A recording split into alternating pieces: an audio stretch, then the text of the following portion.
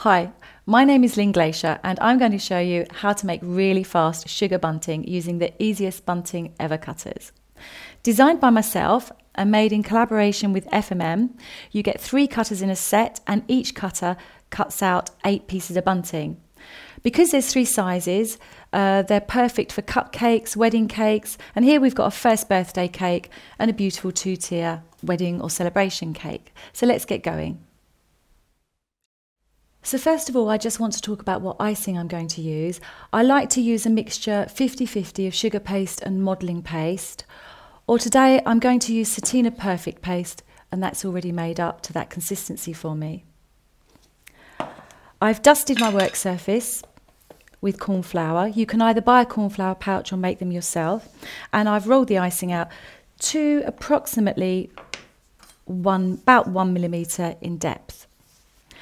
So I'm going to take the largest of the bunting cutters, place on top of the icing and press firmly down, not forgetting to press in the middle as well.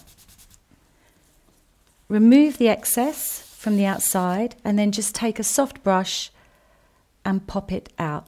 It's really that easy. So that's the largest one. This is the medium cutter.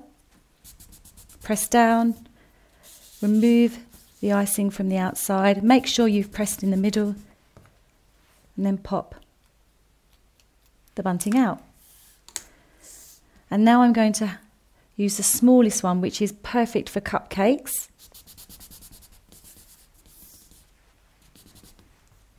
And just pop the bunting pieces out. It really, really is that easy. So you can attach the bunting straight onto your cake with edible glue or a tiny dot of royal icing, or you can leave the pieces to set overnight so they're firm and easy to attach the next day. So I'm just going to pop those to one side and I'm going to show you how to get a textured effect on your bunting. Again, I'm using the 50-50 mix of sugar paste and modelling paste or the Sattina Perfect paste and roll your icing out this time to about two millimetres in depth. Don't forget to keep dusting your surface with corn flour so that the icing doesn't stick. Always make sure the icing moves on your surface. And now I'm going to take a textured knit rolling pin by FMM and I'm going to roll really firmly over the paste.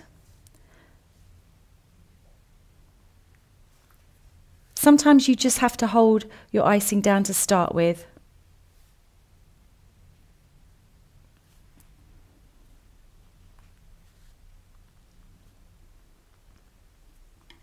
There we go. And I'm going to use the last cutter. Now, if you've still got the excess in the cutter, just use a cocktail stick and it comes out really easily like so. Place your cutter on top and do exactly the same as before. Take the excess away, make sure you've pressed in the middle and then pop your pieces out. And now we have knitted bunting. There's just one more thing I'd like to say is that you can put messages onto your bunting as well. And I'm just going to show you. I've got one here. And I've cut out tiny letters in modelling paste and then just attach them to your bunting with a tiny bit of edible glue.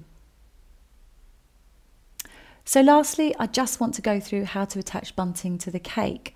On this cake, I've used the knit textured rolling pin all the sizes of bunting in different colours. Just put a little tiny bit of royal icing, a dab at the top of the bunting, so you almost want the bottom of the bunting to flap out slightly.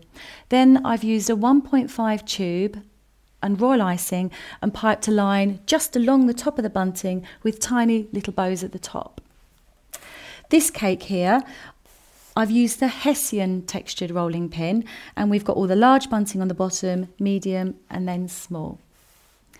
Lastly, you might wonder about the carnations as well. They're beautiful and if you're interested in knowing how to make these, check out our video, The Easiest Carnations Ever.